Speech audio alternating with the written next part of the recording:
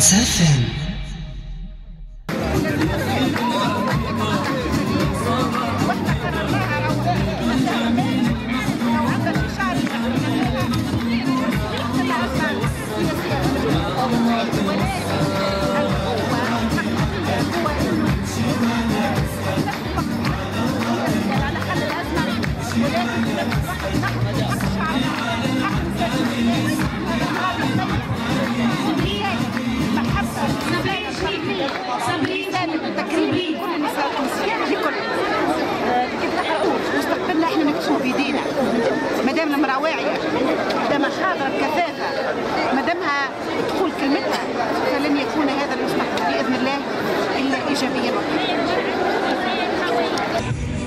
زينب المرايحي عضوة بمكتب المرأة والأسرة المركزي بحركة النهضة.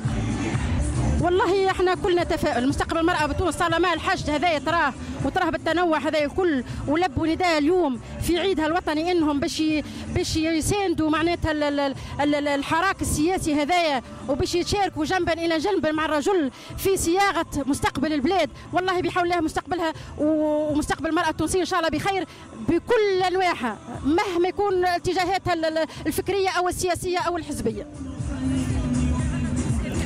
والله إحنا رسالتنا كمكتب مرأة وأسرة إنه نمد يدينا لبعضنا الكل وراهي تونس عمرها ما تنهض بالتفرقة وإنما تنهض بإنه الناس تمد يدها في بعضها وتشوف المستقبل يلم الناس الكل وتونس أوسع أوسع من إنها تفرق ناس أو تنفر ناس. إحنا كلنا نساء تونسيات وتشوفوا أنتم في المشهد هنا تلقاو المرأة اللي اللي مدينة اللي لابسة حجاب اللي مش لابسة الطالبة التلميذة معناتها كل الفئات اللي متحزبة من كافة الأحزاب معناتها هذايا هو المشهد السياسي السياسي التونسي للمرأة التونسية اليوم. نحبوه يبدأ في سيف ما نحبوش يكون معناتها من حزب واحد. مهما كان الحزب حتى ولو كان النهضة. بالنسبة إحنا كنهضة حتى ولو كان النهضة ما نحبوش يكون اليوم المشهد مشهد حزبي. وإنما نحبوه مشهد تونسي بامتياز.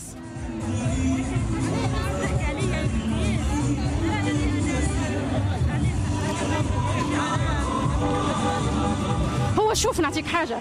العباد الجاية لهنا راهو الأصل مش ناس مسبوبة صبين باش الناس كلها آه عندها آه معناتها نفس التوجه. فما عباد تاخذ من حماسه إنهم معناتها يعطوا شعار لا حتى لا يخدم لنا المرحلة. وهو إنه ما يعطيش خلفيتنا إحنا السياسية.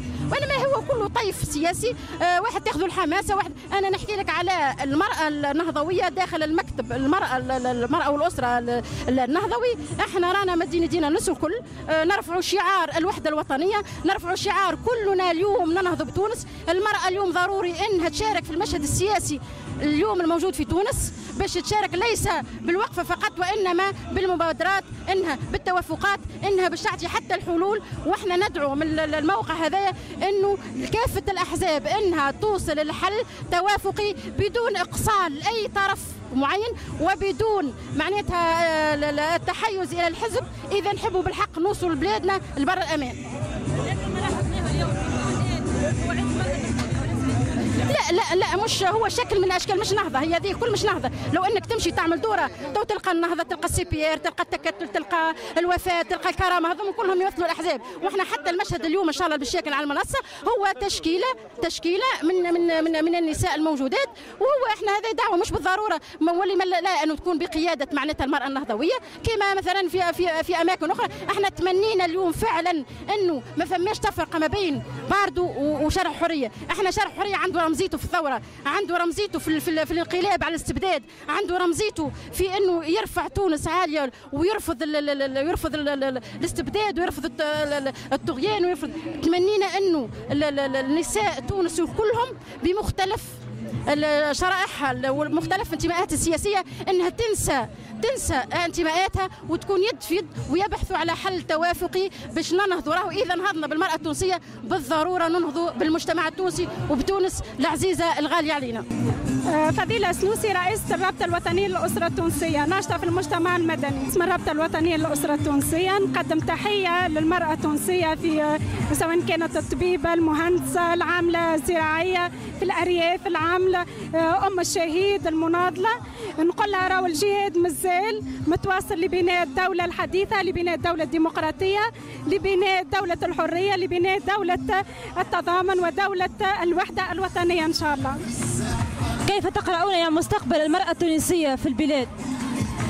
أنا قبل ما نقرأ المستقبل نشوف الماضي. الماضي صحيح كانت عندها حقوق لكن حقوق على الورق أكاهو ما كنتمش حقوق على الواقع. كي نشوفوا المرأة اللي كانت متحجبة تتحرم من الدراسة تتحرم من العمل آه، تكون سجينة تغتصب في السجون هذيك ماهوش حقوق. وين الحرية متاعها؟ الحرية عرفتها المرأة بعد الثورة. لذلك نقول الحقوق والحريات ماهيش حبر على الورق يلزمها تتفاعل. أنا نشوف مستقبل المرأة بعد الثورة أحسن برشا من اللي كان FM